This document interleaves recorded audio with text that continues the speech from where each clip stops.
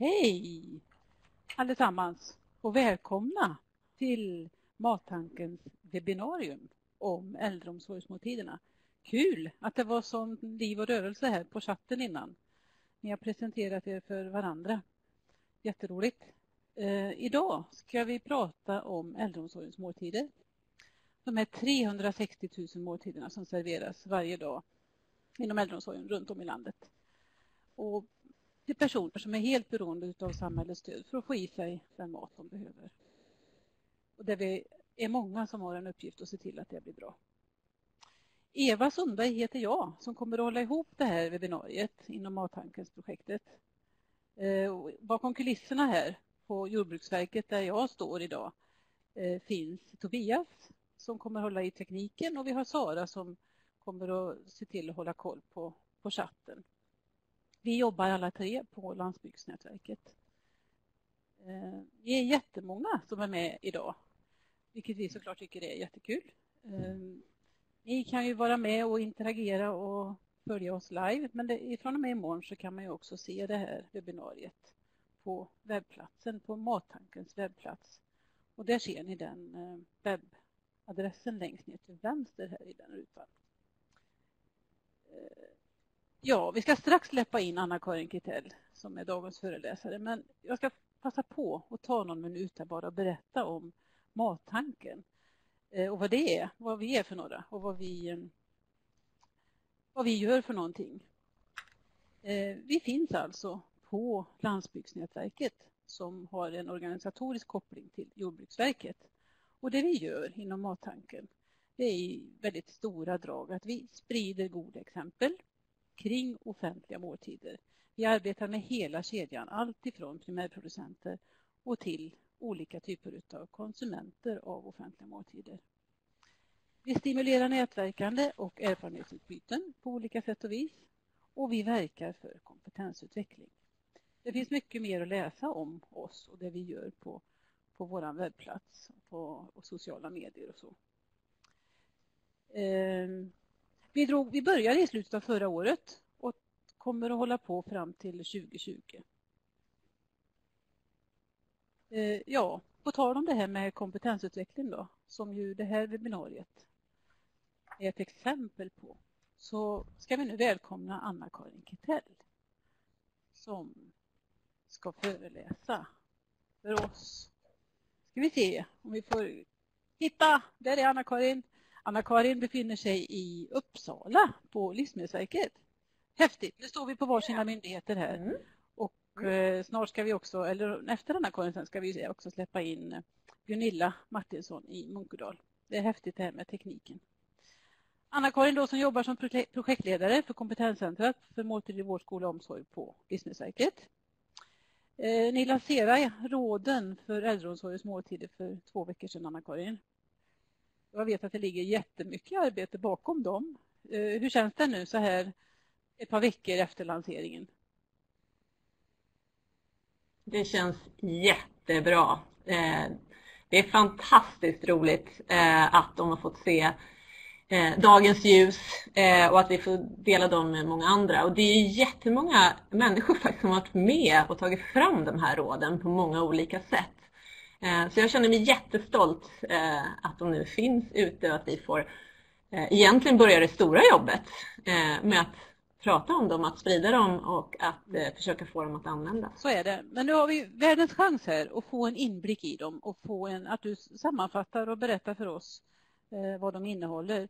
Och det får du göra nu, ja, sådär, ja, vi får se, sådär, bortåt 40 minuter kanske. Eh, och ni kommer att få vara lite aktiva, ni som finns runt om i landet där ute. Anna-Karin kommer att ställa lite frågor och så.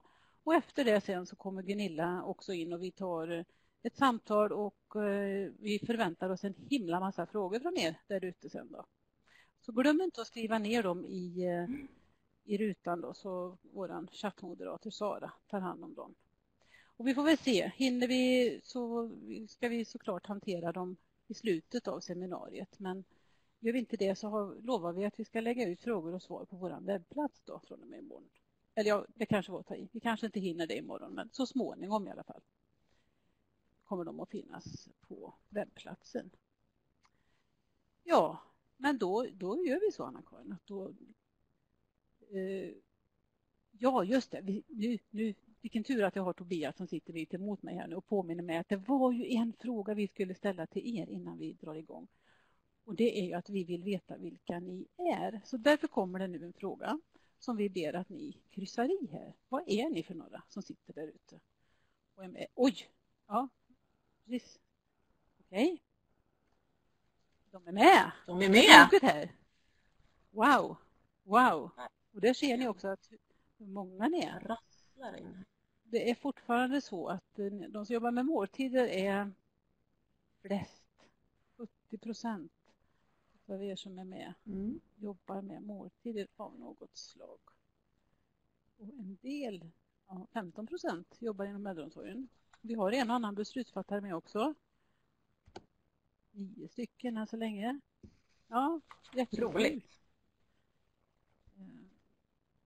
Ja, det rullar på här.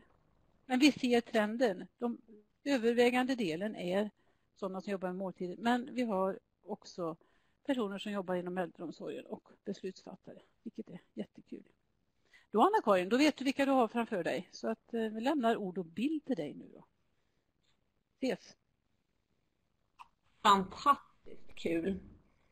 Tack så jättemycket Eva också för möjligheten att få vara med på så här premiärturen eh, som jag förstår att det är för de här webbinariumserierna. Eh, jag heter alltså Anna-Karin Ketell. Jag är projektledare för Livsmedelsverkets kompetenscentrum för måltider i vård, skola och omsorg.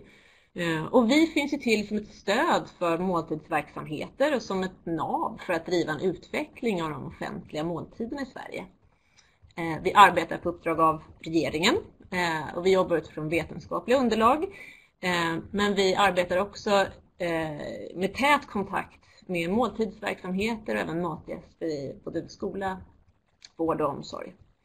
Eh, och sen försöker vi samarbeta väldigt mycket med andra myndigheter på området för det är många som har mycket att göra med måltiderna.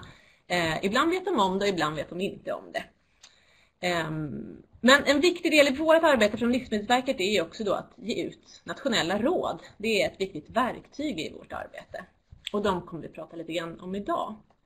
Och de offentliga måltiderna ser vi på Livsmedelsverket som ett enormt guldägg för hela samhället. Det är ett folkhälsoverktyg eh, som ger en jämlik hälsa, eh, som också kan bidra till en hållbar utveckling, men som också kan bidra till välbefinnande och livskvalitet om de utformas och om de förvaltas väl. Eh, så de närmaste 30-40 minuterna, vad det nu blir, innan någon sätter stopp för mig, eh, så kommer vi att bjuda på eh, lite grann de utmaningar som vi ser kring äldreomsorgens måltider idag. Eh, de möjligheter som finns kring äldreomsorgens måltider och jag kommer också att lyfta de största förändringarna och de viktigaste bitarna och nyheterna i våra nya råd för äldreomsorgens måltider. Nu ska jag se om jag kan klicka fram bilderna här också. Ja, det kunde jag. Eh, när det kommer till mat och måltider eh, inom äldreomsorgen så är det ett brett och komplext område. Eh, och oavsett hur man bor, om det är ordinärt boende eller om det är på ett särskilt boende eller något däremellan, så vet vi att mat och måltider har en stor betydelse för både välmående och för hur man trivs med livet. Och enligt Socialstyrelsens undersökning förra året så vet vi tyvärr att mer än varannan, mer än hälften av äldre inom omsorgen besväras av ensamhet. Och nästan lika många upplever ängslan, oro eller ångest. Det är många också som har synpunkter på maten på olika sätt, men just ensamheten lyfts faktiskt som ett av de största problemen. Och den bilden bekräftas mycket i de kontakter vi har med forskare och de som arbetar på området. Vi vet också att det här hänger ihop. Eh, vi vet att, att äta ensam och att ensamhet faktiskt är en viktig riskfaktor för undernäring. Eh, så ett bra måltidsstöd, särskilt ett bra måltidsstöd inom hemtjänsten, är ett oerhört viktigt verktyg för att öka välbefinnande och livskvalitet. Ehm, så måltiden är liksom inte bara ett verktyg för att eh, förebygga eller förhindra undernäring utan det är också ett verktyg för att faktiskt eh, öka välbefinnande och höja livskvaliteten. Ehm, vad är nytt då i Livsmedelsverkets råd? Ehm, vi byter fokus eh, på en hel del sätt faktiskt. Och ska jag försöka sammanfatta dem så har jag tre punkter. Ehm, I våra nya råd så går vi från kost till måltid. Ehm, vi har i våra nya råd inga grundkostrekommendationer längre utan vi försöker fokusera snarare på måltiderna. Ehm, och när det kommer till näringsriktigheten så, så utgår vi mycket från eh, och ger rekommendationer kring de äldres behov och hur man sen behöver göra anpassningar utifrån den äldres aptit. För de med normal aptit och för de med nedsatt aptit. Men framförallt så pratar vi mer mat och måltider i de nya råden. Eh, och det är också ett sätt som vi ser det för att göra fler delaktiga i måltidsarbetet. Vi går också från tabeller till modeller. Det finns inte lika mycket detaljerade eh, rekommendationer i tabellform att följa eh, rakt eh, utifrån råden. Utan vi försöker arbeta mer med modeller och mer eh, för att visa på vad ramarna, eh, vilka ramar man kan använda sig av som man sen då behöver fylla med anpassa verksamheten utifrån sina egna förutsättningar och utifrån de individer som finns där. Och måltidsmodellen som ni ser här med pusslet är ju kärnan egentligen i alla råd som kommer från Livsmedelsverket idag som handlar om offentliga måltider. Och nu har vi även med i äldre, eh, råden för äldreomsorgens måltider. Det känns jätteroligt. Och med den här modellen vill vi visa vad vi menar med en bra måltid. Att eh, det är inte bara en näringsriktig eller säker måltid. Det handlar heller inte bara om eh, att måltiden tar hänsyn till miljö eh, med ekologiskt och minskat svinn exempelvis. Det inkluderar även delar som matens smak, att den ska vara god. Kanske särskilt inom äldreomsorgen. Det ska vara gott att bli gammal. Det är också viktigt att eh, måltiden serveras på ett trivsamt sätt och anpassad till de individer som ska äta den. Och inte minst att den är integrerad, att den är en helt självklar och central del av äldreomsorgsverksamheten. Eh, vi går också från detaljer till helhet. Eh, vi har tagit fram en särskild tallriksmodell eh, för att illustrera eh, också hur man kan tänka kring näringsriktigheten. Få med alla bitar som jag kommer tillbaka till. Jag skulle nog vilja säga att huvudbudskapet i våra råd när det gäller måltider i äldreomsorgen det är att stimulera aptit och främja matglädje. Det allra viktigaste är eh, att maten eh, smakar bra och gör gott och faktiskt hamnar i magen. Vår vision och vår, den riktning som vi hoppas att eh, måltidsverksamheterna ska gå mot med hjälp av våra råd eh, är att sätta matgästen i centrum. Att det är matgästen som är eh, liksom huvudpersonen i äldreomsorgens måltider. Eh, vi myndigheter finns med, men det är faktiskt matgästen som, som måltiderna är till för och som de ska utformas för. Eh, vi hoppas också att man med hjälp av våra råd eh, tydligare kan ta ett helhetsperspektiv kring vad en bra måltid är. Eh, att som sagt utifrån måltidsmodellen att kunna ta hänsyn till alla de olika aspekter som gör en bra måltid. Och sist men inte minst här så hoppas vi att våra råd också kan leda till en ökad samverkan. För ska vi uppfylla alla de här delarna och få till de här fantastiskt bra måltiderna som hamnar i magen så, så går det inte att göra det ensam. Utan det här är ett lagarbete där många olika yrkesgrupper måste samspela eh, för att det ska bli riktigt bra. Vi ser ju också att mat av god kvalitet utifrån måltidsmodellen är ganska eh, det är ganska ambitiöst faktiskt. Eh, och vi vet att det är, finns stora utmaningar här att få till det här på ett bra sätt. Men samtidigt så ser inte vi att mat av god kvalitet och trivsamma måltider är en egentligen att betrakta som en lyx eh, utan att det är en mänsklig rättighet och en central del av vården och omsorgen om de äldre. det är en utmaning vi alla har framför oss. Och på tal om utmaningar, eh, vi har ju satt, eh, bett lite experter satt ihop ett underlag för oss när vi tog fram råden. Och jag tänkte lyfta några av de utmaningarna. Och det kanske kan bli lite trist men vi ser att det är viktigt att vi har en bra Eh, en gemensam bild av vilka utmaningar vi faktiskt står inför som vi behöver eh, ta på allvar. Eh, den första här som jag valt att lyfta är dels att andelen äldre i samhället ökar. Och SCB har gjort en prognos på hur det förmodligen ser ut om 17 år ungefär. Och där ser man att på den här tiden så kommer andelen äldre öka med nästan det dubbla. Ungefär 76 procent eh, kommer den att öka med.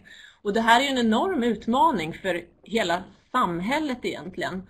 Ehm, och självklart kan, kommer det ju att berika vårt samhälle på många sätt eh, att ha en ökad andel äldre. Men det kommer också ge många utmaningar, särskilt som vi vet att många äldre eh, kommer att bo kvar hemma och kommer behöva stöd med både måltider och med andra aspekter i sitt eget hem i framtiden. Och hur utformar vi då en bra Eh, service för de människorna? När det gäller äldres hälsa så vet vi tyvärr det att med stigande ålder så ökar andelen med sjukdom eller med funktionsnedsättning. Eh, och vi vet att ätsvårigheter och undernäring är det mest dominerande nutritionella problemet. Alltså det är den stora utmaningen när det kommer till mat och näring och äldre. Det är undernäring. Och undernäring kan ju bero både på en förändrad ämnesomsättning eh, på grund av olika sjukdomar, men det kan också bero på nedsatt aptit. Och att aptiten blir nedsatt med ökad ålder, det kan bero på många olika saker. Eh, dels förändras vi fysiologiskt, vi får en nedsatt eh, smakupplevelse, doftupplevelse med ökad ålder. Ehm, vi får också annan mättnadskänsla när vi blir äldre. Att magsäcken blir lite mindre elastisk och att vi får snabbare en mättnadskänsla. Och det finns många andra aspekter också som gör att vi, vi faktiskt blir mätta mycket snabbare och inte känner oss lika hungriga. Ehm, och det här påverkar ehm, väldigt mycket. Vi ser ju ett, ett, ett stort dilemma är ofta att man förenklar matlagningen. Alltså att man kanske upplever den här nedsatta aptiten ibland som någonting positivt. Vi har ju också ett samhälle där det är lite, vi ska hålla igen och vi, vi ska inte äta så mycket och sådär. Ehm, och det här är jätteviktigt att man, eh, att man håller koll på. Och den här förenklade förenklingen av maten och matlagningen kan handla om att man byter ut en lagad rätt mot kanske en tallrik fil eller kanske bara en kopp kaffe. Ehm, och det här är en varningssignal ehm, som tyvärr kan leda till undernäring. Och undernäring i sig eh, är inte eh, speciellt eh, kul. Eller så här. Eh, undernäring i sig ökar ju risken för svårläkta sår, infektioner. Eh, undernäring leder också till minskad muskelmassa. Eh, det är ju tyvärr så att vi, vi tappar muskelmassa redan från 30-årsåldern så börjar vi faktiskt tappa muskelmassa och behöver äta tillräckligt och röra på oss för att kunna behålla våra muskler. Och blir man undernärd, äter man bara lite för lite varje dag så går det rätt snabbt att tappa muskler. Och tappar man muskler så tappar man också mycket eh, funktion. Att man orkar inte lika mycket. Man kanske tappar motoriska förmågor eh, och också möjlighet att klara sig själv hemma. Och det leder ju sin till ett ökat vårdbehov, eh, höga samhällskostnader. Så vi har otroligt mycket att spara och att vinna på att satsa på bra måltider. När man frågar de äldre själva, eh, vad är viktigt för dig när det kommer till måltider eh, äldre in, som, eh, inom äldreomsorgen, så lyfter de äldre själva ofta vikten av att få vara delaktig, att få bli betraktad som den person man är och att få behålla sitt sätt att leva och sina vanor. Vi vet ju att måltider är en meningsskapande, en social aktivitet eh, som vi uttrycker vår identitet med, vår kulturella tillhörighet. Vi alla som är med på det här webbinariet nu har ju alla egna sätt att förhålla oss till mat eh, och gör våra egna val, också baserat på de personer vi är. Eh, och här finns det en förväntan när vi blir äldre att också få fortsätta göra de valen och leva det liv som vi själva har valt. Någonting annat som man ser i forskningen är att just det här med ensamhet och att äta ensam är en riskfaktor för både undernäring men också för ohälsa och eh, depression. Så det här är lite grann ur de äldres perspektiv. Om vi tittar på lagstiftningen då så kan vi faktiskt se att de äldre har rätt till det här som man också lyfter som väldigt viktigt. Eh, I socialtjänstlagen så finns det en värdegrund som säger att de äldre inom omsorgen har rätt till ett värdigt liv och i det ingår eh, rätten till självbestämmande, rätten till delaktighet och individanpassning, eh, respekt för privatliv, personlig integritet, ett gott bemötande och insatser av god kvalitet. Och också rätten till välbefinnande med en trygg och meningsfull tillvaro. Och alla de här delarna kopplar egentligen till måltiderna. Och måltiderna är ju en del av äldreomsorgen eh, och socialtjänsten och därmed så faller de också inom ramen för den här värdegrunden.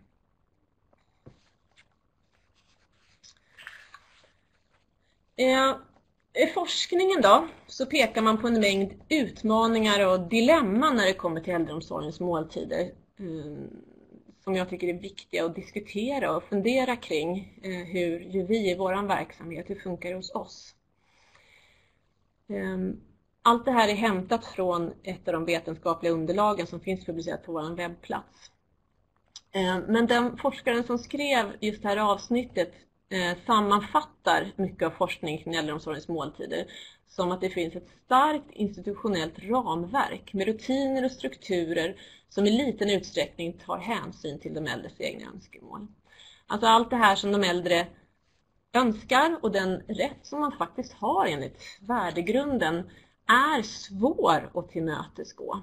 För att det finns mycket strukturer och rutiner som faktiskt kan sätta käppar i hjulet för det här.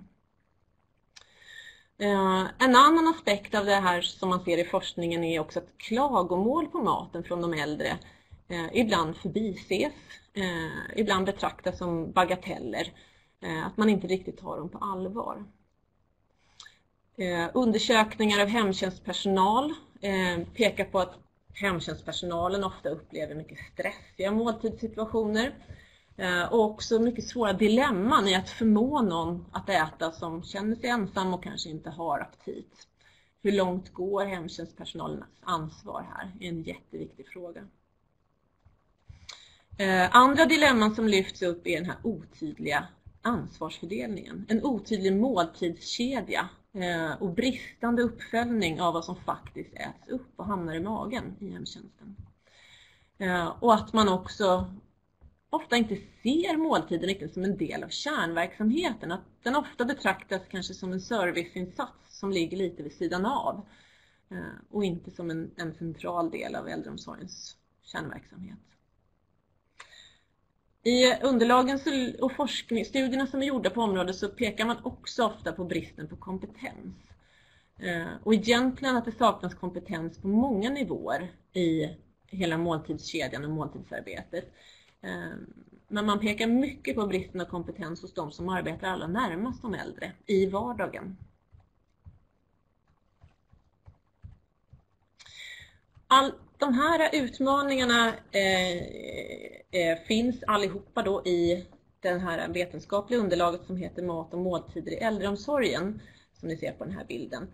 Och den är, består av fem olika avsnitt som är författade av olika eh, experter på området.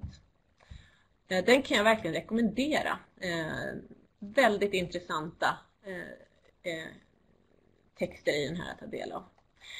Eh, men allt är ju inte bara elände ska jag säga också. Eh, I de här underlagen så lyfts det förutom de här dilemman och utmaningarna även många möjligheter kring måltiden.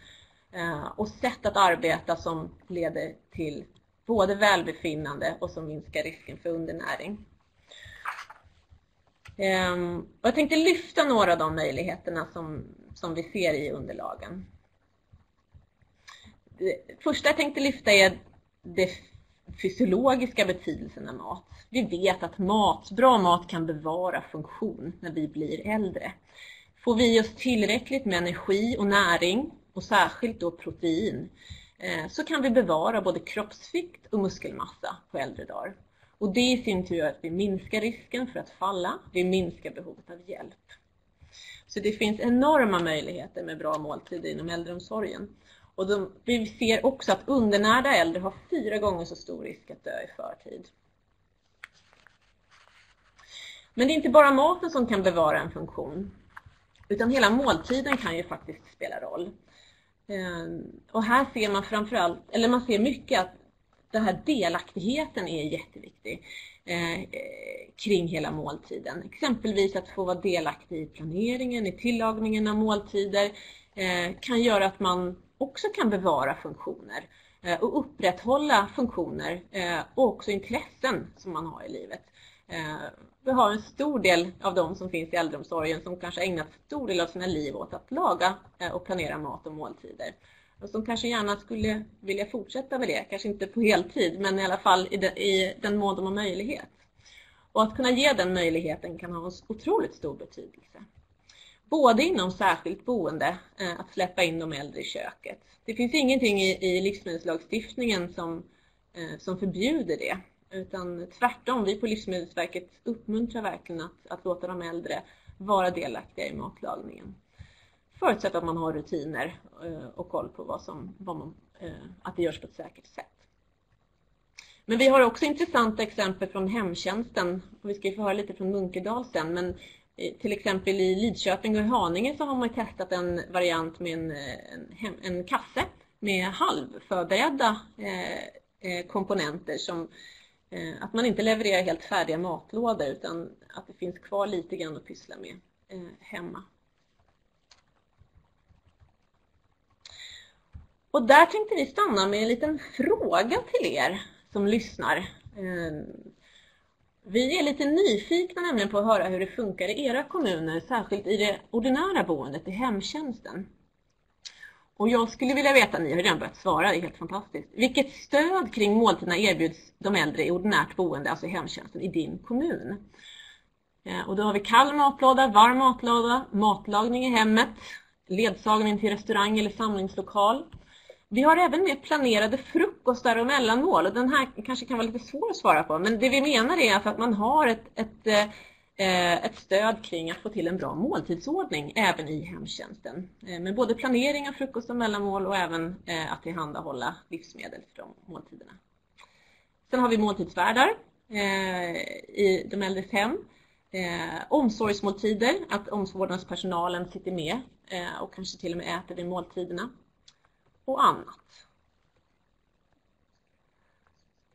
Och vi ger er en liten stund till. Man får klicka i flera alternativ här. Men vi ser att i täten ligger den kalla matlådan. Mm. Ungefär på 75 procent eh, av er eh, anger att kall matlåda finns i er kommun. Varm matlåda ganska många, 37 procent. Eh, matlagning i hemmet 27 procent. Ledsagning till restaurang lika många. Mm, inte så mycket frukost och mellanmål. Eh, inte så mycket måltidsvärdar. Omsorgsmåltider 18,6 procent. Mm. Jätteintressant. Eh, nu är det inte här någon vetenskaplig undersökning på något sätt men det är lite att ta tempen på, på hur det fungerar i era kommuner, ni som är med på just det här webbinariet. Eh, och det vi, det vi kan se från eh, de studier som är gjorda och de här vetenskapliga underlagen så ser vi verkligen ett behov av olika typer av stöd i de äldres hem. Den kalla matlådan blir ibland uthängd som eh, något horribelt och så behöver det ju verkligen inte vara. Vi, vi ser i forskningen att en kall matlåda levererad några gånger i veckan kan vara den ultimata lösningen för många äldre. Medan för andra äldre så kan det vara en inkörsport till eh, både ensamhet och att man äter för lite. Eh, så att den, här är det jätteviktigt att, man, att det finns olika typer av stöd som kan anpassas till, eh, till individerna. Jätteintressant. Vi kanske kommer tillbaka till den frågan senare. Jag ska dra vidare här eh, i presentationen. Lite andra möjligheter som öppnas upp i de här underlagen det är att man tittar mycket på aptit och hur kan vi främja aptit eh, bland äldre och hos sådana som har nedsatt aptit. Och här finns det en massa bra verktyg att använda sig för, av. Eh, och en viktig aspekt som lyfts är just att ha respekt för individens egna önskemål. Eh, att fråga, vad är du sugen på? Det kan tyckas löjligt enkelt, men att ha med sådana rutiner eh, är en jätteviktig grund eh, för att kunna arbeta aptitfrämjande. En annan sak som jag redan har nämnt är delaktighet. Att som äldre, om man önskar, ha möjlighet att vara med i, det kan vara i planeringen, det kan vara i menyplanering, men det kan också vara i själva tillagningen av maten och måltiderna. Eh, det kan handla om att duka bord, eh, eller kanske få ibland en, en roll som värdinna, eh, eller faktiskt få bjuda på en måltid. kan ha jättestor betydelse självständighet. Att kunna erbjuda den typen av stöd och verktyg som den äldre behöver för att kunna äta självständigt så långt det bara är möjligt. Det kan handla om en bra sittställning, det kan handla om Eh, special, specialanpassade bestick eller tallrikar som inte glider iväg. Men att, att möjliggöra eh, för en individ att kunna äta själv så länge som möjligt har också en positiv effekt på eh, hur mycket mat man äter. Den trivsamma måltidsmiljön, självklart. Och den lyfts ju också av de äldre själva.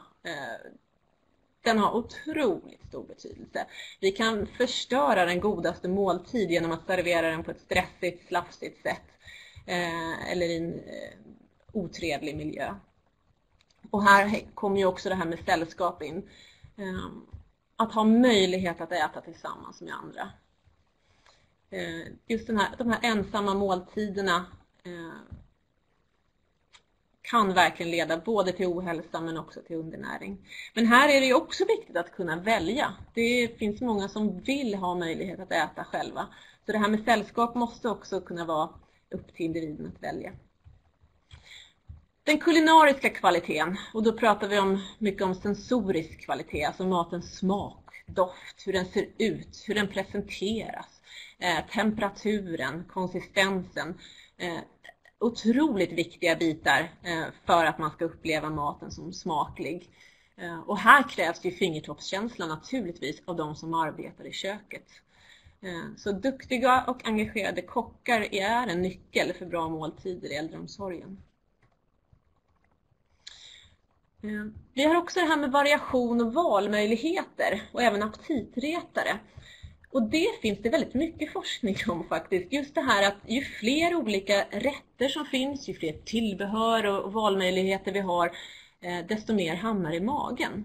Och här finns det ett intressant begrepp som heter sensorisk mättnad eh, som man använder i forskningen. Och med det menar man alltså att man ehm, eh, mättnadskänslan som man upplever kan gå över om man introduceras för en ny smak eller en ny rätt. Eh, och jag tror att vi alla upplevt den när vi efter en stor middag eh, och känner att vi orkar inte äta en bit till eh, får serverat en efterrätt och gladeligen sätter i oss den. Det är precis det begreppet som man menar med sensorisk mättnad. Och det här har man forskat mycket på inom äldreomsorgen och ser att man kan liksom använda sig av det här genom att ha små aptitretare före maten så kan man få i sig lite extra eh, men ändå orka äta lika mycket av varmrätten och sen att man kanske har desserter och efterrätter vilket introducerar en ny, en ny smak och gör att man orkar äta lite till fast man kanske kände sig mätt. Ehm, det kan också faktiskt handla om tillbehör. Att man har sett att man kan, om man har en chokladtårta exempelvis och lägger till lite grädde efter ett tag, efter ja, några minuter så kan man liksom ja, då orkar man äta lite till. Och Det kan också handla om att ha mycket tillbehör på bordet. Att kunna tillsätta lite majonnäs kanske, eh, lite ketchup, eh, kryddor eh, av olika slag. Eh, det leder också ofta till mycket samtal runt matbordet. Eh, så det här med många olika tillbehör på matbordet lyfts också som viktigt för att främja aptiten. Eh, mellanmålen eh, är också, A och O. Eh, det behövs många små måltider. Och mellanmålen är verkligen en av nycklarna eh, till att, eh, ja, att få i sig allt man behöver på en dag. Det här är ett, ett bord Och det här är ett sånt häftigt exempel från praktiken där vi ser att mycket av de här exemplen liksom faller på plats. Det här var ett äldreboende utanför Malmö som vi var besökte i höstas. Eh, och jag tyckte det var ett sånt fantastiskt gott exempel på hur man kan arbeta med måltiderna på ett integrerat sätt. Det här är ett VIP-bord och hit fick man bara komma och äta då vid väldigt, väldigt speciella tillfällen. Och vid den ena stolen här så satt kocken och på den andra stolen så satt äldreboendets eh, aktivitetssamordnare. Och de här två hade ett riktigt bra lagarbete. En gång i veckan så bjöd man in till en trerätters lunch, VIP-lunch, och då hade, bjöd man in en av de boende som hade bott här eh, en längre tid. Eh, och sen parade man ihop den med någon nyinflyttad. Och då parade de ihop de här väldigt genomtänkt, för de hade liksom planerat att de här två kommer att kunna ha mycket kul ihop. Eh, och det här funkade fantastiskt bra. Eh, ofta vart det här riktigt lyckosamma eh, första dejter som ledde till faktiskt vänskap. Eh, och de här VIP-luncherna var ju något som man eh, verkligen såg fram emot att få vara med om. Och det där blir ju verkligen, det, det, visar verkligen hur man kan använda måltiderna som en, som en krydda i vardagen. Jättegott exempel.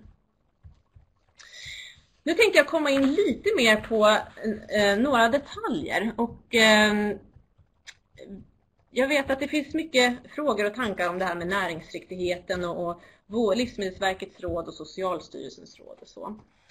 Eh, och det är ju så att oavsett vilket behov och tillstånd man har som äldre eh, så är ju de här bra måltiderna en grund för alla inom äldreomsorgen. Eh, så att vi ser det här som en trappa egentligen. Som, och för vissa av de äldre inom omsorgen så behöver man då komplettera med olika typer av åtgärder.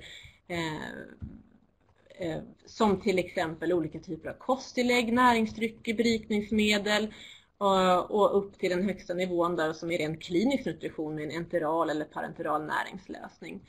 Eh, men det här är en modell som vi nu har tagit fram och som finns med i våra råd som vi har tagit fram tillsammans med Socialstyrelsen. Och vi ser ju här att Livsmedelsverkets råd handlar ju om den här grunden i den här pyramiden. Eh, vi ger rekommendationer och råd för alla eh, inom eh, äldreomsorgen. Medan Socialstyrelsen då har mer specifika individanpassade råd som är mer klinisk nutritionsbehandling. Och vi är också väldigt överens om att insatser behöver ju såklart göras så långt ner i den här pyramiden som möjligt. För många äldre behövs olika typer av tillägg Eh, och i värsta fall som sagt då kanske en, en, en näringslösning på olika sätt. Eh, men grunden bör ändå vara att försöka få till en bra måltid för alla. Och det är just därför att måltiderna är inte bara ett verktyg för att förebygga eller behandla undernäring. Utan måltiderna har eh, en viktig social och en viktig kulturell roll i våra liv. Så vi säger grunden för all nutritionsbehandling är bra måltider, men dessa kan behöva kompletteras med ytterligare insatser vid specifika sjukdomstillstånd som undernäring.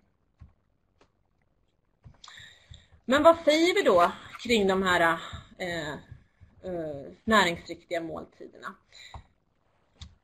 Jag visade tidigare den här, den här modellen. Eh, vi har ju i de nya råden för äldreomsorgen tagit fram en, en helt ny tallriksmodell för äldre, eller framförallt för de med nedsatt aptit.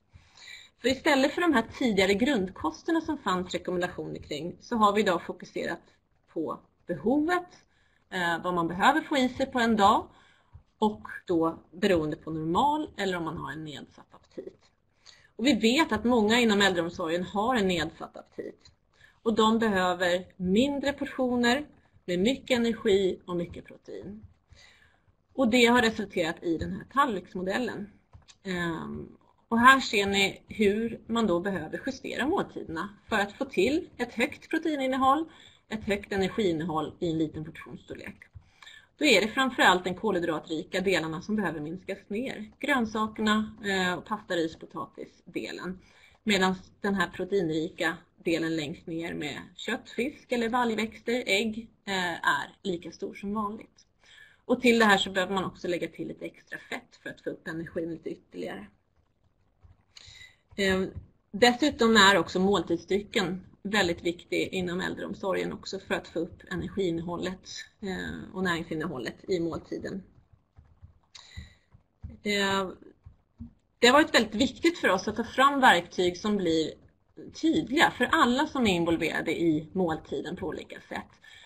Och vi hoppas verkligen att, att det här sättet att kommunicera kring mat och kring modeller kan, ehm, kan, fungera, kan vara ett bra verktyg för många inom äldreomsorgen.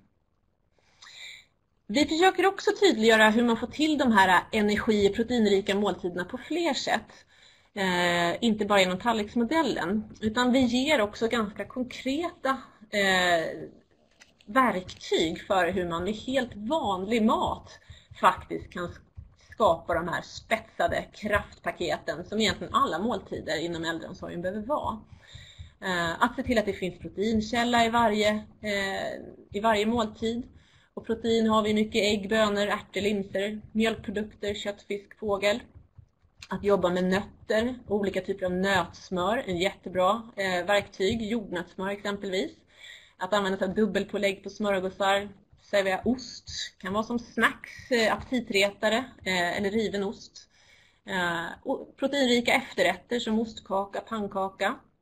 Kvarg, otroligt proteinrikt, går att blanda ut i lite vispgrädde eller i olika smoothies eller så för att höja proteinhalten. Man kan också använda sig av mjölkpulver, torkat mjölkpulver i olika typer av bakverk, kakor, för att få upp proteininnehållet även i dem. Eh, man kan också koka gröt och välling med mjölk istället för vatten. Och för att få upp energin så ska man såklart undvika lättprodukterna. Man ska välja fetare varianter i äldreomsorgen av både mjölk och grädde, crème fraîche, smörgåsfett. Eh, använda extra olja eh, eller smör eller grädde.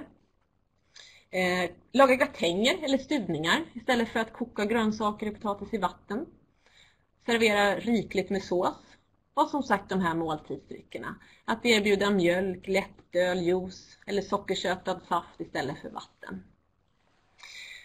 Så det finns mycket vi kan göra med riktigt smarriga livsmedel eh, för att få till de här kraftpaketen.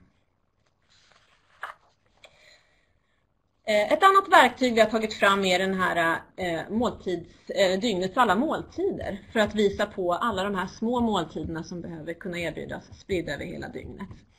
Det här vet vi att eh, man har på plats eh, i många av de särskilda boendena. Här kanske den allra största utmaningen blir inom hemtjänsten, ordinärt boende. Ehm, men det vi ser, för att få i sig allt det man behöver på en dag, om man dessutom då har en minskad aptit, då behöver man äta väldigt många gånger eh, per dygn. Vi säger ju i våra råd att det bör finnas tre, åtminstone tre huvudmåltider, frukost, lunch och middag eller någon, en kvällsmåltid, och dessutom minst tre mellanmål. Och här har vi ritat upp ett exempel med åtta måltider på en dag. Och också tydliggjort att den här nattfastan faktiskt inte kan vara mycket mer än 11 timmar om man ska få in alla de här andra måltiderna under dygnets vakna timmar. Ehm, och det, alltså tittar vi på en helt vanlig lunch och middag så ser vi att för en, för en person med normala tid så brukar de bidra med ungefär hälften kanske av det vi behöver få i oss på en dag. Så att frukostarna och mellanmålen har en minst lika stor betydelse som huvudmåltiderna. Vi var också inne lite grann tidigare på samverkan. Eh, nej, nu ska vi ta en fråga ja. Och då ska vi se vad vi har för fråga nu. Jo, vad är det egentligen som hamnar i magen? Eh, har ni i er kommun någon uppföljning av att de äldre verkligen får i sig den mat som de behöver på en dag? Och jag förstår att alla ni som är med på webbinariet kanske inte har koll på det, men eh, eh, ni som vet kan väl svara. Och det rasslar in svar här. Jätteintressant. Ja, vi ser att nej-sidan leder ju eh, kraftigt med närmare 80 procent än så länge har svarat nej. Eh, och 24 procent har svarat ja. Och det här, det här kanske faktiskt är en av våra största utmaningar. Eh, och någonting som vi, vi behöver fundera mycket kring. Hur får vi till det här i praktiken? För det är ju helt ointressant eh, vad en måltid är på pappret om den inte hamnar i någons mage. Och om man, den inte hamnar i magen, vad gör vi för åtgärder då? Är det någonting vi behöver justera, skruva på? Det är ju väldigt viktig information för alla som arbetar kring de eh, eh måltiderna. Nu ser jag att min tid håller på att ta slut så jag drar vidare snabbt. Vi kanske kan komma tillbaka eh, och reflektera mer. Eh, jag ska avrunda lite grann eh, med den här måltidskedjan som jag pratade om tidigare. Eh, alltså för att det ska bli en bra måltid måste vi på något vis få reda på vad är den här individen sugen på? Vad är den här individen van att äta? vad behöver den få i sig på en dag? Och det behöver då kopplas till den här måltiden och sen utformas då på bästa sätt. Och sen behöver vi också ha koll på hur mycket hamnar egentligen i magen. Och för att allt det här ska funka så behöver vi på något vis en rutin och en dokumentation kring det här. För det är olika yrkesgrupper som identifierar behoven, som lagar måltiden och som också följer upp att den hamnar i magen. Eh, och i den här måltidskedjan så har vi en massa olika yrkesgrupper. Vi har ju hela hälso och sjukvårdens personal med läkare, medicinskt ansvariga sköterskor, sjuksköterskor, dietister, arbetsterapeuter, logopeder. Tandvården kan också vara involverad, eh, biståndshandläggare. Vi har också de som arbetar allra närmast de äldre själva, undersköterskor, måltidsombud, måltidsbiträden och aktivitetsansvariga. Eh, kockarna såklart, jätteviktig roll och även cheferna, både måltidschefer och enhetschefer inom äldreomsorgen. Och här behöver vi verkligen ha ett flöde av information så att alla är med eh, i matchen och spelar som ett lag. Vi lyfter i våra råd fem framgångsfaktorer som egentligen sammanfattar det som jag sagt eh, för bra måltider i äldreomsorgen. Fokusera på individen. Låt individen stå i centrum för måltidsarbetet. Satsa på kunskap och kompetens, både hos de som arbetar närmast de äldre, men också i alla led eh, i hela den här kedjan. Se till helheten, använd måltidsmodellen och se måltidskvalitet ur ett helhetsperspektiv. Tydliggör ansvarsområden och möjliggör samarbete. För det är först när man vet vad man själv har för ansvar och för någon annan har för ansvar som man förstår hur man kan samarbeta. Eh, sätt upp mål, prioritera måltiden och fråga efter resultaten. Hur mycket hamnar egentligen i magen? Och når vi dit vi vill? Nu är min tid ute och det passar ganska bra för här kommer min sammanfattningsbild. Måltidsmodellen, helhetsperspektivet. Eh, och som sagt att bra måltider är inte att betrakta som lyx utan det är faktiskt en mänsklig rättighet och en central del av vården och omsorgen om de äldre. När det gäller näringsriktigheten så har vi stöd även här då med en tallrik, ny tallriksmodell och måltidsordning som tillgodoser de äldre om man behöver få i sig på en hel dag. Och för att få till den här måltidskvaliteten ur ett helhetsperspektiv, använd, se till att ni i er kommun har en bra och tydlig måltidskedja där ni ser de olika rollerna och hur ni samarbetar med varandra. Jag tänkte avrunda där. Och ni fritt fram med frågor. Jag har sett att det har rasslat in frågor men jag har inte hunnit läsa en enda. Men ni, vi får nog lite tid till det sen och ni får också jättegärna kontakta mig eh, på telefon eller på e-post. Nu hör inte jag Eva men det ser ut som hon pratar. Det gäller att trycka på rätt knapp. Tusen tack Anna-Karin för, eh, för den här genomgången utav eh, de nya råden. Ja, det har rasslat in frågor och det finns eh, stort engagemang där ute kring det du pratar om. Vi, vi plockar upp de där frågorna senare då, mot slutet av det här seminariet. Då. Jag tänker, det är ju vissa av grejerna, du, du är så himla bra på de här eh, one-linen. Det, det ska vara gott att bli gammal, den är ju härlig. Alltså. Det är ju så enkelt är det ju. Det är det vi ska ha som, som mål. Och så sa du också någonting, vad är du sugen på? Mm. Ja, så enkelt kan det vara. För att fånga upp mm. individens eh, önskemål. Eh, nu gör vi så att nu kopplar vi även in Gunilla då ifrån Munkedal här. Så Gunilla, ska vi se om vi kan få kontakt med dig i ord och bild helst då. Ja. Det här med, med Ja, men nu, nu hör jag i alla fall Gunilla. Hoppas att ni andra gör det också. Mm, det var bara det där med bilden också. Nu ska vi se, det närmar sig. Ja. Titta, där är hon. Ja. Hej Gunilla! Hej hej! Hoppas att, hej, du har hört och sett Anna-Karin här nu när hon har pratat. Eh, hur tänker du nu då? Eh, du finns i en kommun med, vad är det, ungefär 10 000 invånare. Ja. En ganska vanlig svensk kommun.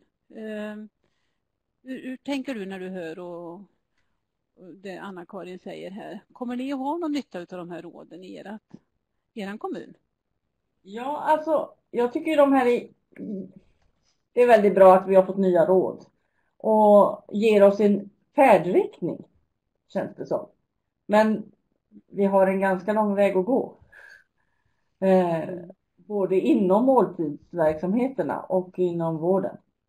Och här kommer nyckeln att vara samverkan, precis som Anna-Karin har nämnt. Mm. Mm. Ja, Anna-Karin, du nämnde ju det här med för att vara med i matchen så måste man spela som ett lag. Det är ju också, säger väldigt mycket. Det är ett lagarbete för att få till äldreomsorgens måltider. Ni har gjort det kända i Munkedal, Gunilla, på lite olika sätt och vis. Eh, ja. För det här med arbetet med äldreomsorgens måltider. Ehm, och det här kring samverkan. Kan du, kan du berätta lite om eh, vad ni har gjort?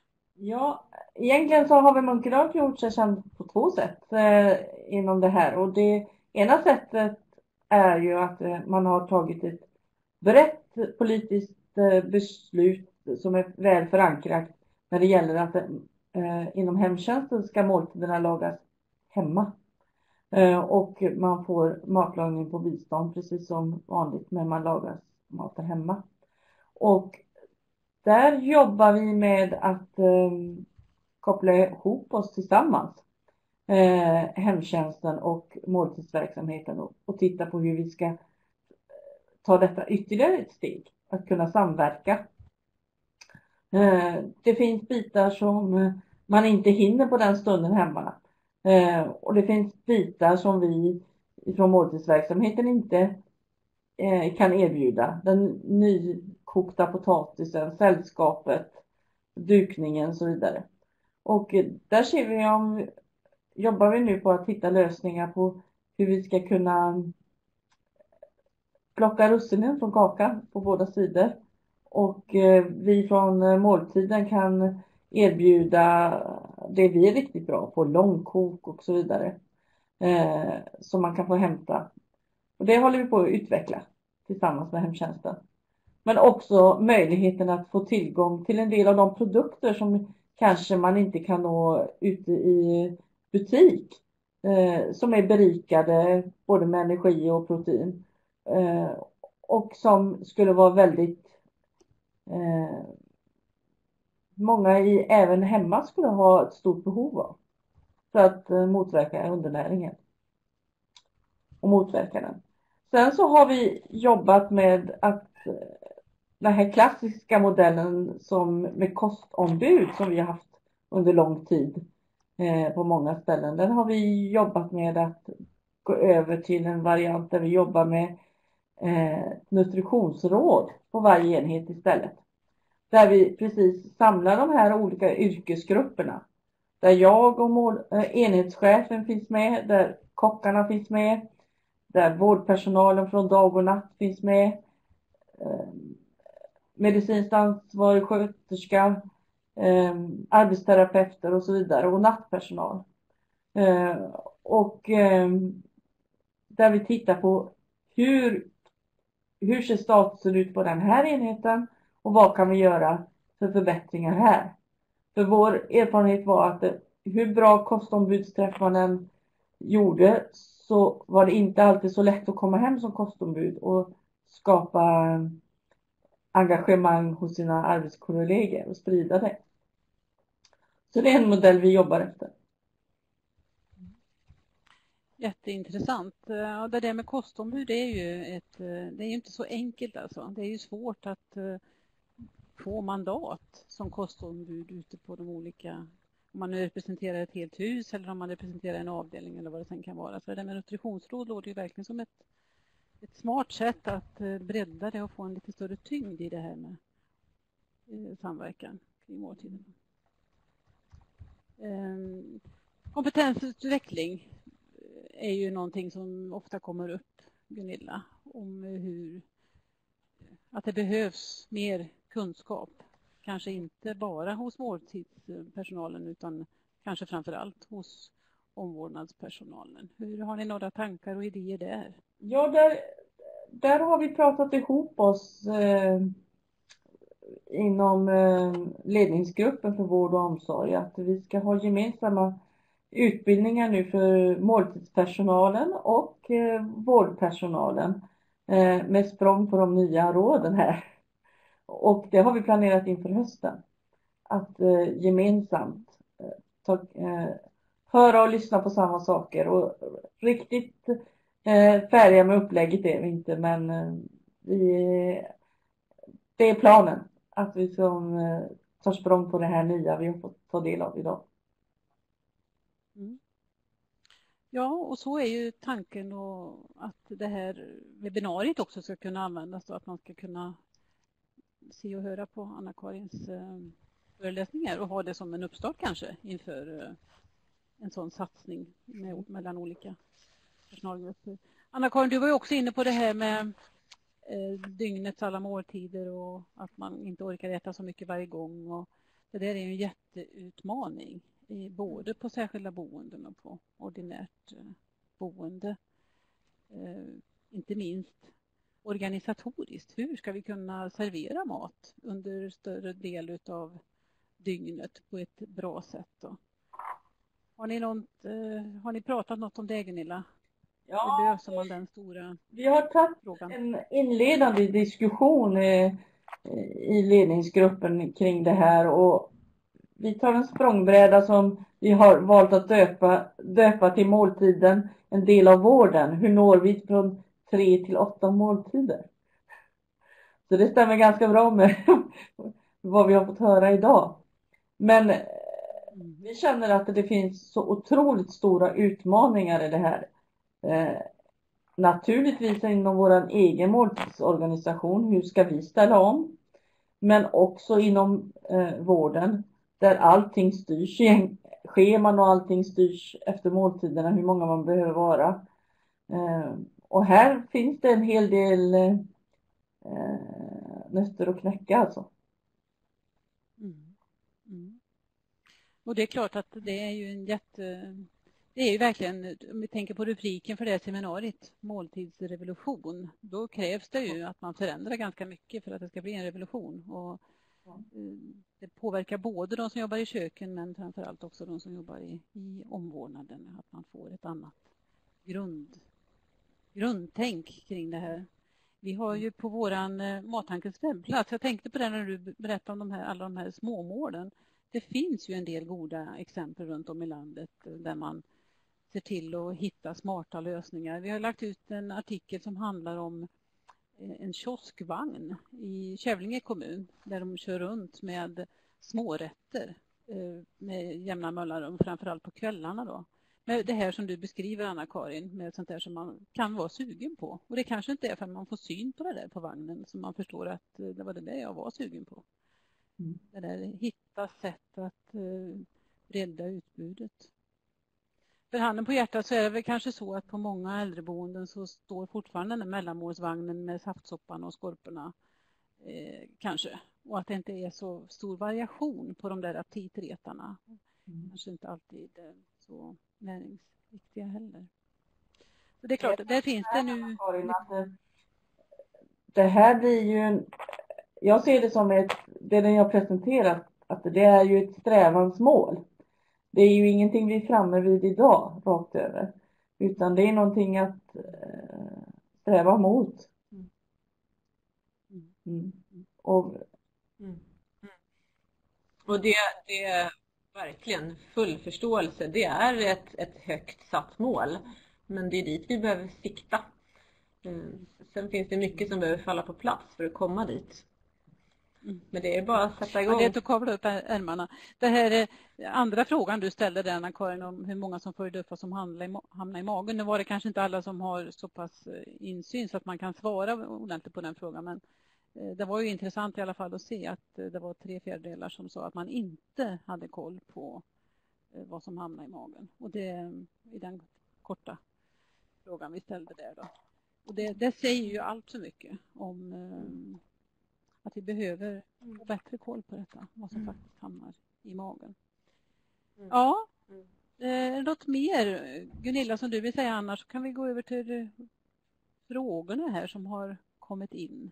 Jag tänker att det finns så otroligt eh, många goda exempel ute i landet eh, bland mina kollegor och det är jättebra att man kan få via era mattanken kan få, få inspiration ifrån sina kollegor, att ni lägger upp så mycket. Det tycker jag är fantastiskt, att man får en samlingsplats på webben och kolla.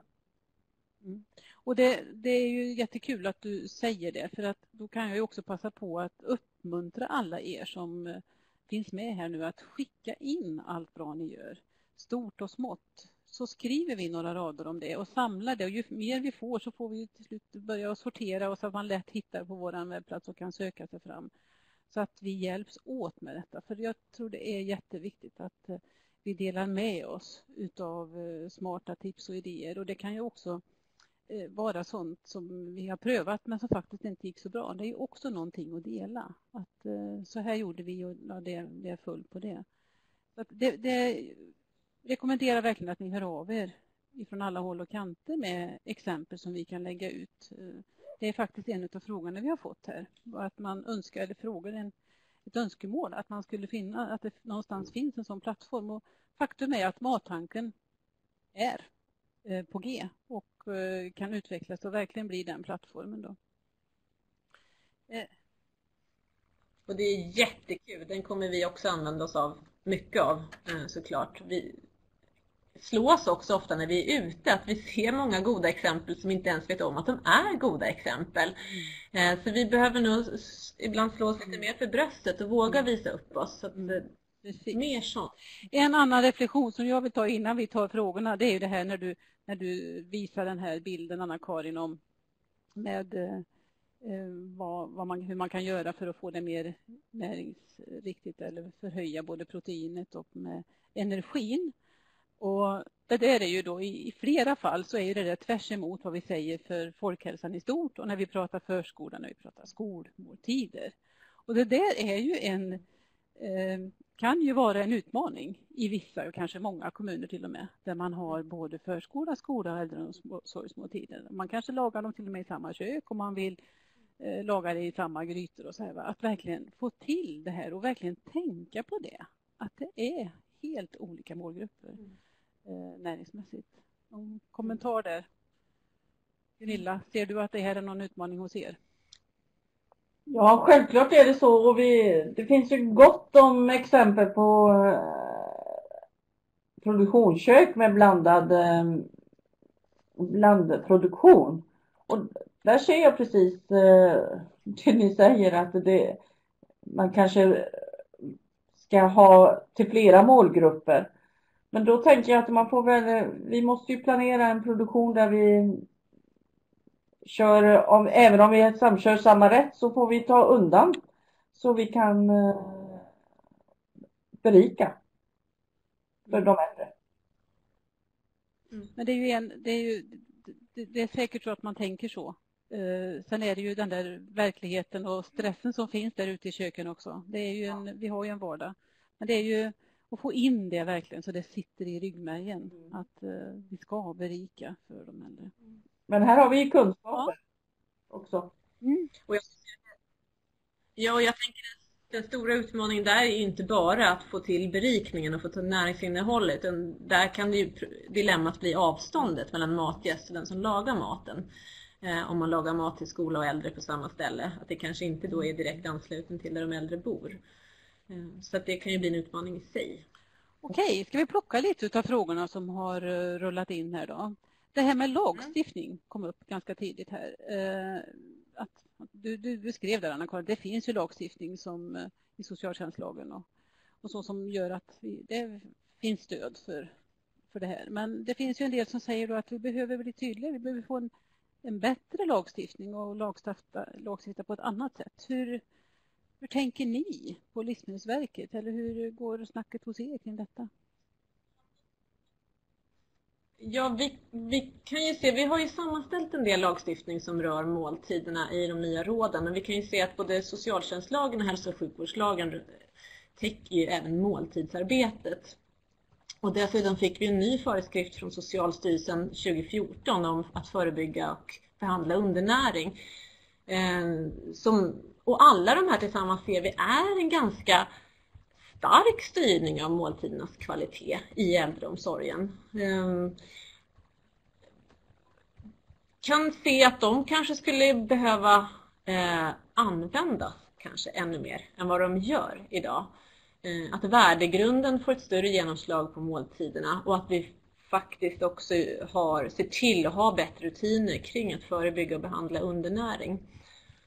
Eh, där kommer också Socialstyrelsen komma ut med ett nytt kunskapsstöd i slutet på 2018 som också kommer komplettera våra råd där. Eh, men att lagstifta om eh, måltidernas kvalitet är en intressant diskussion men kan se att det kan bli lite svårt att lagstifta om en exakt kvalitet i och med att individuella önskemålen kan se så olika ut. Och vi har ju nu ändrat våra råd, eh, både från oss och Socialstyrelsen och tagit bort den här mer detaljerade rekommendationerna kring näringsriktighet just för att kunna öppna upp för en större flexibilitet som vi ser har efterfrågats. Eh, så att ska man lagstifta om måltidskvalitet behöver den fortfarande kunna vara ganska flexibel. Eh, men som sagt, de här lagstiftningarna som vi har idag kring Eh, undernäring är ju målstyrda. Alltså ingen äldre ska bli undernärd i onödan om man ska ha gjort åtgärder för att eh, förebygga det här. Det, det tycker jag är faktiskt väldigt bra eh, egentligen att ha lagstiftning på den nivån. Så jag skulle önska att vi tillsammans tryckte ännu hårdare på den som redan ja, finns. Då kommer vi ju in på det här med att kostnaderna har försvunnit, de här grundkostnaderna som tidigare fanns och så. Och det här problematiken då för omsorgspersonalen här att, som då inte har kunskap, hur de ska ordinera, som man ställer en fråga här, och beställa måltider från, från köket. Vad, vad får man för stöd nu i de här nya mm. råden från Livsmedelsverket kring, kring det? Vi, vi försöker ju, eller vi använder inte ordet ordinera eh, mat och koster. Vi, vi ser att det, vi behöver ha ett bredare perspektiv på måltidskvalitet på det sättet. Ehm, vi ger rekommendationer, eh, de utgår från NNR. Eh, och att all, det är klart att all, alla måltider för äldre ska utgå från NNR och, och verksamheten behöver ha rutiner för att se till att den äldre får i sig det den behöver på en dag. Det är det som är det viktigaste, inte att man planerar för en viss typ av kost. Eh, sen är alla individer och vi vet att väldigt många har en nedsatt aptit. Eh, och därför har vi också valt att dela upp våra råd här på de med normal aptit och de med nedsatt aptit. För vi tror också att det är bra att verksamheten själv tänker i de banorna. För vem som helst förstår att den med nedsatt aptit behöver hjälp, behöver uppmuntran eh, och behöver få en fråga om vad man är sugen på. Eh, så det kanske inte alltid att det är en färdig kost man behöver utan man behöver andra typer av aptitstimulerande åtgärder. Eh, så visst behöver verksamheterna, måltidsverksamheten behöver liksom en arsenal av bra välplanerade måltider för målgruppen. Ehm, men vi har valt att ta bort själva grundkostnaderna just för att öppna upp för en större flexibilitet för kommunerna själva att hitta ett system för det här. Och för att också kunna ta in eh, de egna önskemål. Men det här med att bedöma energi och proteinbehovet då, som de äldre har. De har ju ganska låg eh, kompetens kanske inom mm. omvårdnadspersonalen då. Hur, hur, mm. ska vi tänka där då? Eller det kommer i andra hand. Det första är liksom att börja se så att de överhuvudtaget äter och hittar rätt i, i Ja, men det, är, det, här är ju liksom en kedja, det är ju den här cirkeln. Att kunna bedöma en persons energi och näringsbehov och också intag är ju många som behöver kunna göra. Det behöver kunna göras redan i biståndsanläggningen. Så behöver vi kunna se vilka behov har den här äldre. Och den informationen måste sedan följa med den äldre så att olika yrkesgrupper kan hjälpas åt eh, för att ge bästa möjliga omsorg. Eh, den, omsorgspersonalen behöver såklart någon typ av underlag från måltidsverksamheten för att förstå hur är det tänkt? Vad, vad innehåller ett mellanmål? Hur stor andel av, av dagsbehovet utgör den här måltiden? Eh, så det, det behöver ju också verksamheterna kunna kommunicera kring till varandra. Eh, men det, det, ser vi, det behöver man ju kunna ta fram också verktyg för det här i, sin, i måltidsverksamheten och i den gemensamma planeringen. Om vi, vi släpper lite det och så går vi till en väldigt konkret fråga här. Du, du nämnde det här bordet, eh, som VIP-bordet, Anna-Karin. Mm. Eh, eh, det var någon som frågade här, vilka satt med, vilka satt med? Dra det lite igen. Ja, det var ju så häftigt på det här boendet för det här var ju verkligen ett sånt gott exempel som inte hade en aning om att de, att de eh, var ett gott exempel. Eh, utan det var, ju, kom dit lite på av en slump egentligen. Men här var det alltså kocken på boendet och den som, hon som var aktivitetsansvarig. Så att, och den aktivitetsansvariga hade då ansvar för alla möjliga typer av aktiviteter på boendet. Det var vävkurser och det var olika sångkvällar och sånt där. Men måltiderna fyllde en stor del av hennes hjärta kan man väl säga. Eh, så att hon och kocken hade massor med varandra att göra och gjorde massa roliga grejer kring måltiderna. Eh, de jobbade mycket med dukning och måltidsmiljö. Men de satt alltså tillsammans eh, vid det här bordet och bjöd in. Och, och så det var aktivitetsansvarig och kock på två av stolarna och sen var det då en person som hade bott en längre tid på boendet och en av dem som var nya på boendet. Det gick ju inte ut. Och vid det här samtalet fick de ju också, de fick ju också möjlighet att Eh, lyssna efter vad, eh, lite kring mat och måltider, vilka preferenser man har, vad man gillar för mat och sådär. Så det var också ett jättebra tillfälle att, eh, mm. att få in sån information. Jättebra Men, äh, Ja, det var väldigt, eh, väldigt smart. Eh, ja. Sen är det en fråga här, det här med igenkänningsfaktorn. Det här att man känner igen maträtterna när man eh, som, som man inte liksom, nya rätter utan att man faktiskt format som man är van vid. Gunilla, hur, mm. hur tänker ni där? Eh, har, ni, har ni mat som ni serverar som de gamla känner igen och är vana vid att äta? Eller hur tänker ni? Ja, vi, grunden är det. Sen försöker vi eh, byta in lite nyheter, utveckla, eh, testa nya saker, nya recept. Men vi försöker ha en tät dialog med eh, personalen och få feedback eh, samma dag tillbaka med vagnen. Vi har en liten kommunikationslapp som sitter på skåpet vagnen eh, för att få synpunkter direkt. För att i, i fortsatt menyplanering verkligen ta till oss det som kommer in. Och det tror jag är jätteviktigt, den dialogen. Eh, men sen så möts man. Jag hade senast här för någon vecka sedan ett samtal från en anhörig som ringde och som ifrågasatte vad det var för måltid han hade blivit serverad på kvällen. Och där man, eh, den här personen tyckte inte att potatismos eh, var någonting som man bör servera till äldre överhuvudtaget. Och, och det går stick i stäv med vår erfarenhet i övrigt då det är väldigt populärt. Mm. Mm. Så. Det är ju bara ett, man, ett alla... exempel på att smaken är som baken. Mm. Mm. Jo men så är det ju. Det är ju den där individanpassningen där som, ja. som eh, det, det, handlar om. Eh, nu ska vi se här. Jo, en, en, ja det är egentligen en eh, vi går tillbaka lite till det här med NNR och energi och proteinrik mat och, och, och det här.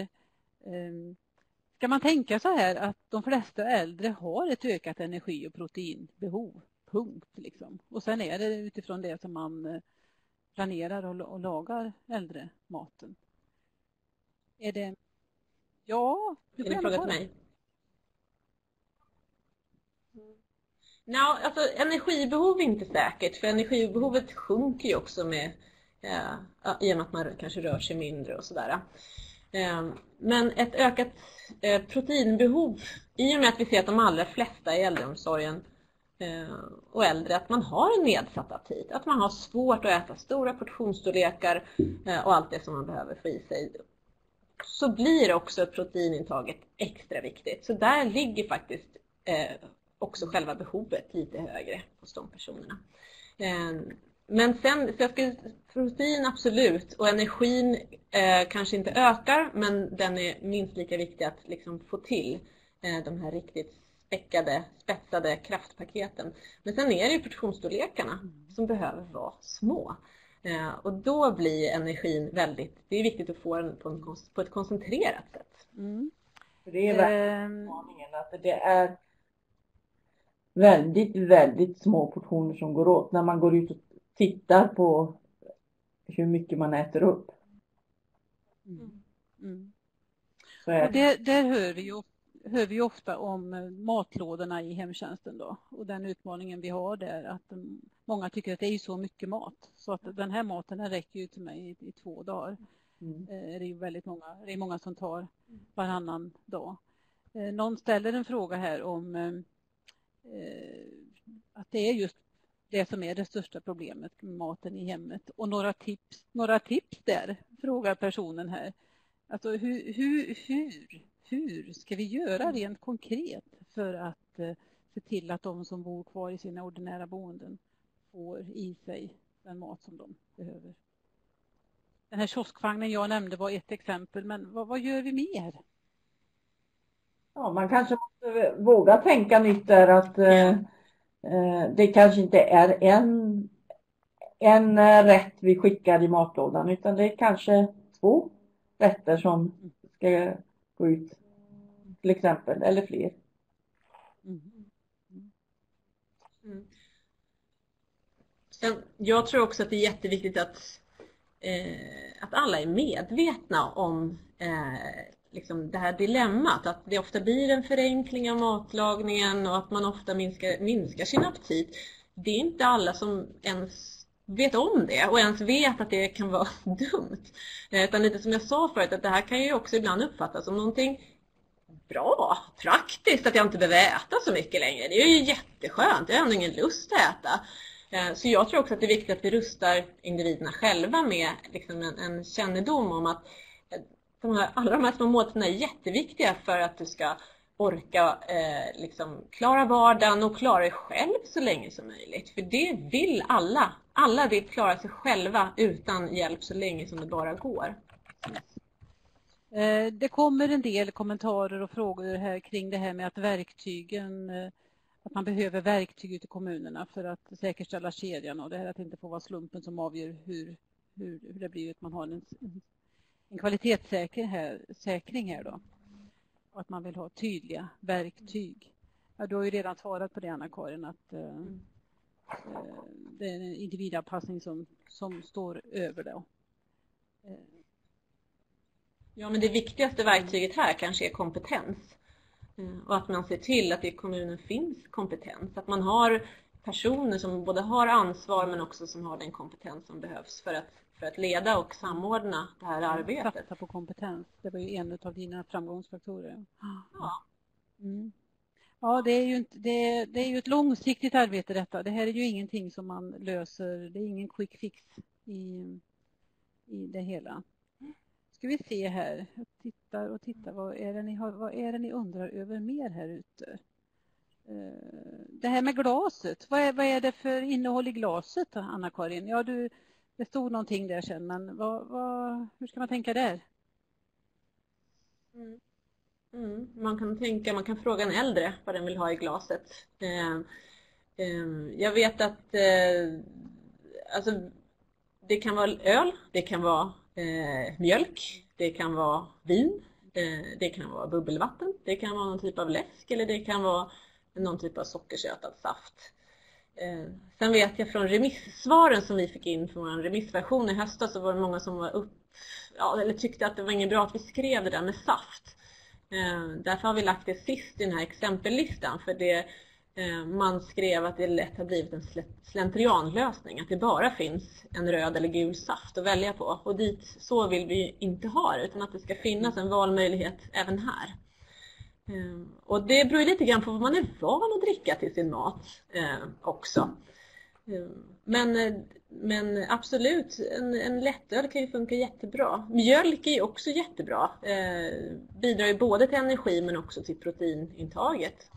Eh, nu är det inte alla som har sin måltidsverksamhet i kommunal regi utan man köper in ifrån olika eh, matleverantörer. Då.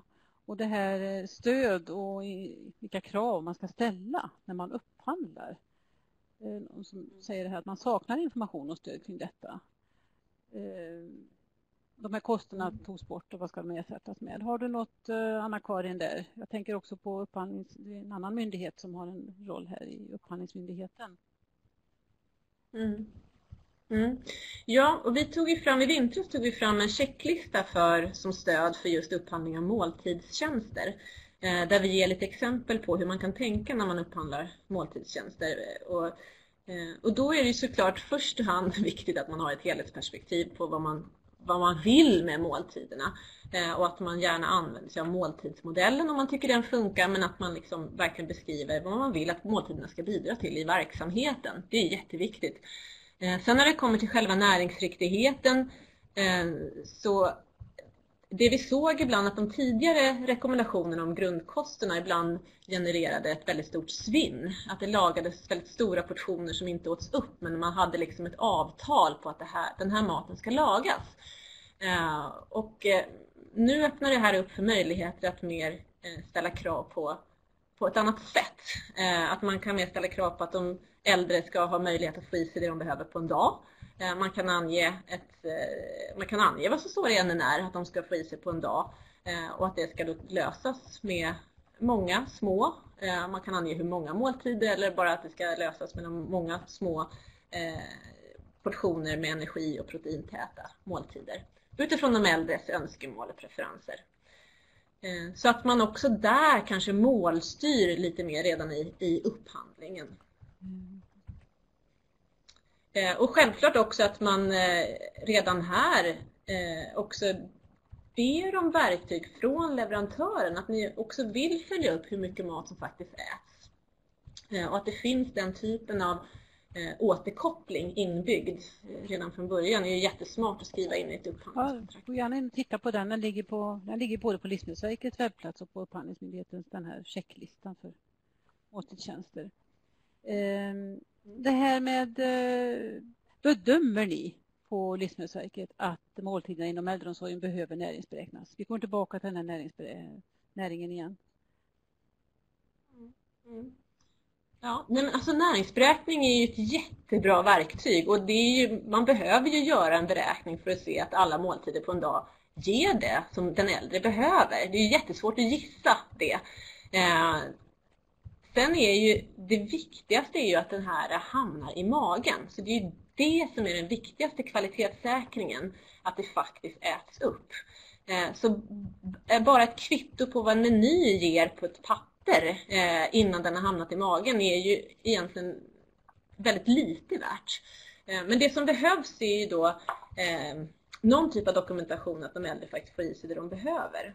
Och då är ju den här verktyget som vi pratade lite grann om innan, hur ska omsorgspersonalen veta då att den äldre har ätit? Ja men då kanske man behöver någon typ av beräkningar av de här olika komponenterna. Man kanske behöver ha ett, ett eget system internt, eh, hur mycket den här måltiden ger, hur, eh, hur mycket den här lunchen ger och så vidare. Eh, så att man har den typen av, det är inte bara vi liksom som ska bedöma det, utan det här måste vara ett verktyg som kan användas i vardagen. Ja, många nämner ju också i sina frågor här den här samverkan med eh, hur når vi vården och hur hittar vi samverkan. Och det är svårt att ha någon, det finns ingen quick fix lösning där utan det där är ju ett hårt jobb. Eh, I linje med det som du drar igång Gunilla och att hitta samverkan i vården och att man hittar samverkan där ute lokalt. Men sen det här, eh, ni har ju en samverkan Anna-Karin, Livsmedelsverket, Socialstyrelsen som ju också är viktig att, eh, att den mm. finns där och att man är medveten på Socialstyrelsen om vilket ansvar den myndigheten har för de här frågorna också. Hur jobbar ni vidare med, mm. med Socialstyrelsen? Ja, vi har ett väldigt nära samarbete med Socialstyrelsen och har haft under hela, hela arbetet nu med, med våra råd i och med att de parallellt har arbetat fram sitt stöd kring de här frågorna som kommer senare i år.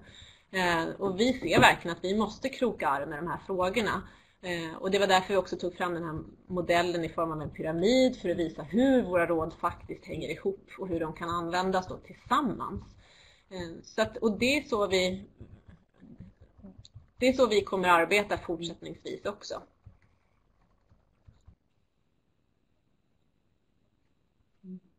Och jag tänker på när vi har de här nutritionsråden så har vi valt att det, det är alltid den måltidsverksamheten som är sammankallande till alla möten.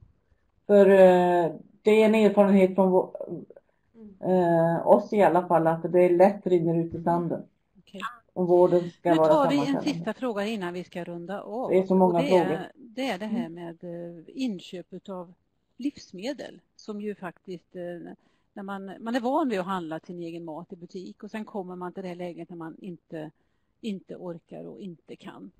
Eh, och att det påverkar, man får inte hem de varorna som man är van vid och man kan inte, man får inte till den maten helt enkelt. Och att kunna se maten i butiken eh, kan, kan ju i sig stimulera till aptit. Då. Och där behövs ju en hel del innovationer. Har ni gjort någonting där Gunilla? Jag har någonting i bakhuvudet att ni har... Nej?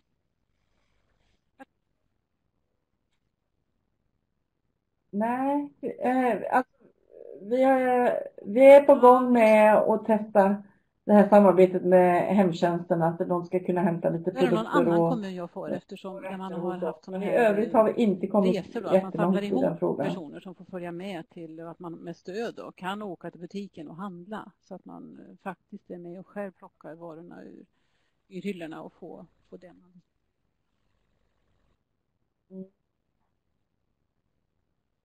Jag vet inte om det, du är ute och far efter att du har sett ett film från Tillväxtverket. Ja. Med, den att eh, vi har en handlarrunda. för de äldre på landsbygden i handla så länge Munkedal. man bara kan. För att det betyder så mycket att få de rätta Ja. varorna där man är van vid. Ja, det var så det var. Ja, precis. Ja, hörni, nu så. Har lämnat barnen så Eh, är den ledig. Nu närmar sig slutet på det här webbinariet. Det har varit jättekul och intressant att få vara, eh, få vara med här den, här den här stunden. Och nu, nu eh, vill jag tacka Anna-Karin för att du eh, fanns med här idag och även Gunilla för de här intressanta och framåtriktade insatserna och exemplen som du ger. Det är härligt att höra att det finns så, så mycket, det händer så mycket bra där ute. Och som sagt var, jag vet att det gör det i väldigt många kommuner. Så hör av er till oss så kan vi sprida allt detta. Nu kommer vi strax och eh, släcka ner här. Jag vet ni ser här att Anna-Karins presentation, den ligger nu för nedladdning eh, här på den här sidan och den kommer också finnas sen på, på webbplatsen och ladda ner Eh, både på Livsmedelsverkets och, och vår webbplats här. Och efter det att eh, vi stänger ner här nu så kommer det att finnas några frågor som eh, vi hoppas att ni kan tänka er att svara på så vi får lite återkoppling på, på det här webbinariet och hur vi ska tänka framöver. Tusen tack för att ni har varit med idag. Jag hoppas innerligt att vi ses på kommande webbinarier och i andra sammanhang framöver.